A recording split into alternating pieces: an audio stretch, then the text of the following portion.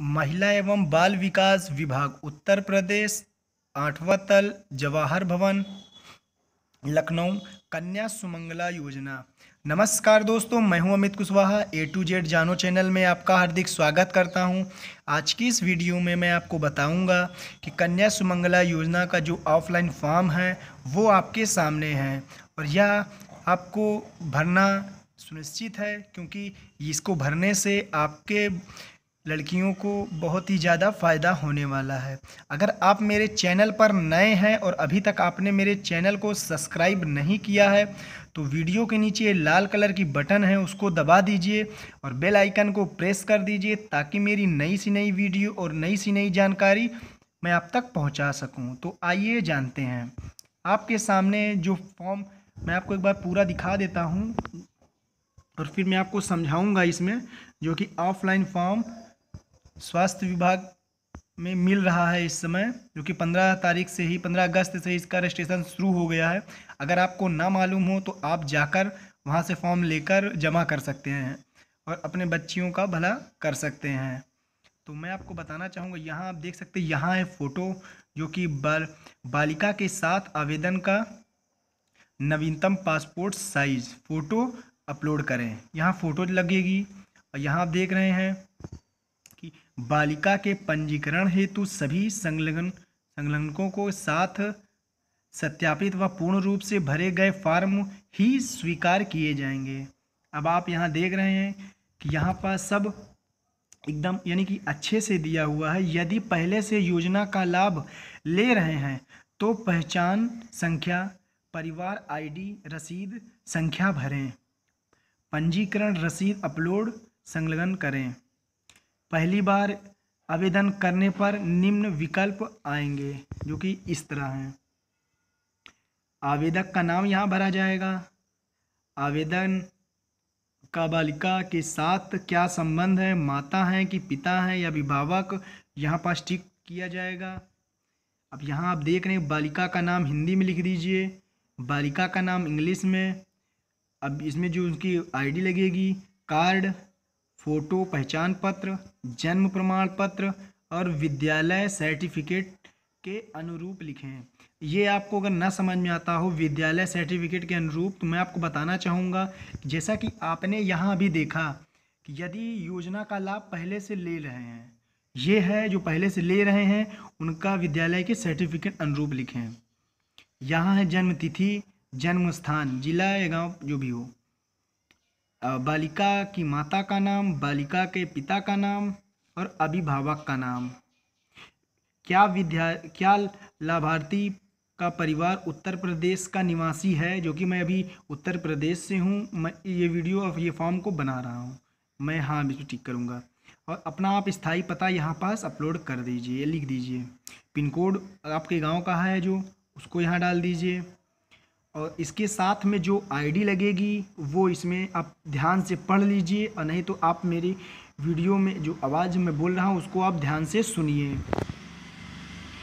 प्रमाण पत्र हेतु ration card, Aadhaar card, voter ID card, driving licence, passport, जीवन बीमा, पॉलिसी गैस कनेक्शन बुक, विद्युत बिल जल जलकर रसीद, ग्राहकर रसीद, टेलीफोन बिल या बैंक पासबुक में से कोई एक संलग्न करें संलग्न करें, अपलोड करें।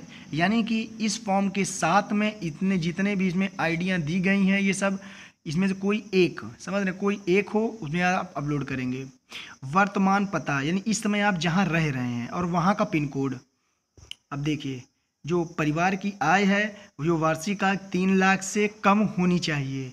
यानी आप तीन लाख से कम होगा, तभी आप इस फॉर्म को भर पाएँगे। नहीं तो आप एक अच्छे से परिवार में आएँगे और ये फॉर्म को भर नहीं पाएँगे।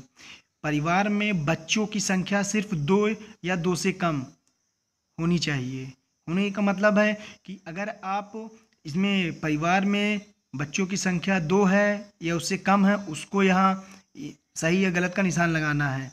अगर दो है तो सही का निशान, अगर दो से अधिक, दो से कम है तो नहीं पर।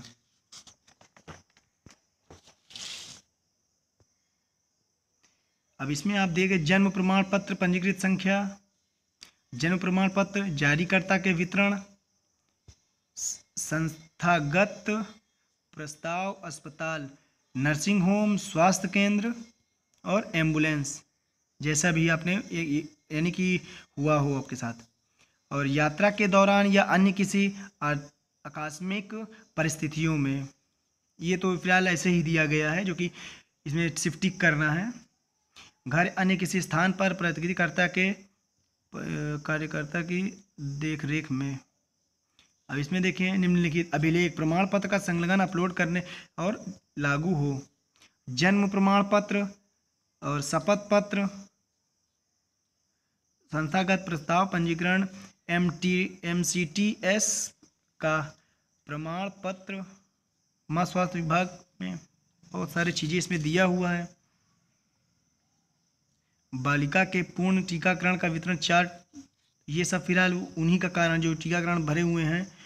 आप देख रहे हैं, मैं आपको फॉर्म पूरा दिखा दे रहा हूँ, आप देख लीजिए। ये सब पूरा काम भरने भरने का स्वास्थ्य केंद्र का है, जहाँ पास से आप ये फॉर्म को लीजिएगा, ये वहीं भरा जाएगा पूरा। अब इसमें मैं आपको सिर्फ़ मेन मेन चीज़ दिखा दे रहा हूँ, जो आपको भरना है। कोड में यदि लागू हो, सरकार द्वारा सहायता प्राप्त, कुछ नहीं, मान्यता प्राप्त नहीं तो आप देखिए बालिका का आधार नंबर भरें, यदि उपलब्ध हो। अगर आपने आधार कार्ड बनवाया है बालिका का तो यहाँ से आप डाल सकते हैं, अन्यथा छोड़ दीजिए। अब देखिए, निम्न दस्तावेज़ प्रमाण पत्र संलग्न अपलोड करें। बालिका का न्यूनतम फ़ोटो, ये है, प्राचार्य द्वारा कक्षा छः में प्रवेश देने हेतु जारी प्रमाण पत्र स्नातक के लिए ये दिया गया है डिग्रियाँ, ये सब पूरा नाम दर पता, कक्षा बारहवीं में अगर बच्चा, बालिका आपके प्रवेश करती है तो इसमें ये सब पूरा दिया हुआ है। आप देख सकते हैं। अगर आपने अभी तक मेरे वीडियो को लाइक नहीं किया है तो प्लीज़ वीडियो को लाइक कर दीजिए। मैं आपको अगले पेज पर चलता हूँ, दिखाता हूँ। ये तीसरे नंबर फॉर्म में। यहाँ आप अपने बालिका का नाम, पिता का नाम, या पत, यानी माता का नाम, मैं निवासू स्थायी पता पता यहाँ भर दीजिए। मेरी परिवार में मेरी पत्नी या माता पिता का नाम बालिका या बहन, भाई कितने भाई बहन हैं? भाई बहन का नाम। परिवार में कुल बच्चों की संख्या। मेरी परिवार की वार्षिक आय तीन लाख से कम है। लाख से अधिक नहीं है। बालिका का नाम संबंध। मेरी जन्म तिथि जन्म स्थान और उम्र। बालिका के वर्तमान में श्रेणी, जो वह कक्षा में है। ये है और सपति के हस्ताक्षर या बाएँ हाथ के अंगूठे का निशान, नाम और पता, ये यहाँ आप देख रहे हैं, ये ऐसे जो यहाँ दिया हुआ है। ये है जो कि पूरा। ये ख़त्म हो गया पूरा फॉर्म जो कि आपके सामने है। मैंने आपको पूरा दिखा दिया हूँ। इसमें से कुछ और मैं आपको दिखाना चाहता हूँ, जो कि बहुत ही इम्पोर्टेंट है। मैं आपको एक चीज़ और दिखाता हूँ, ये। फॉर्म का दूसरा प्रारूप। देखिए, तृतीय श्रेणी में बालिका एक वर्ष तक के पूर्ण टीकाकरण के उपरांत एक हज़ार रुपये मुफ़्त आवेदन प्राप्त तृतीय श्रेणी में कक्षा प्रथम में बालिका के प्रवेश उपरांत दो हज़ार का मुफ़्त। चतुर्थ श्रेणी में कक्षा आठवीं में बालिका के प्रवेश के उपरांत दो हज़ार मुफ़्त।